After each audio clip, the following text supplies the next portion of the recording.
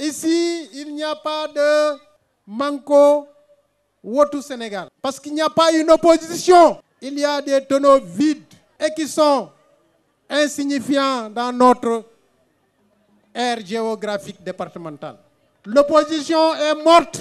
Donnons au président Macky Sall, à la coalition Benno Bok Yakar, une écrasante, très écrasante victoire au soir des législatives.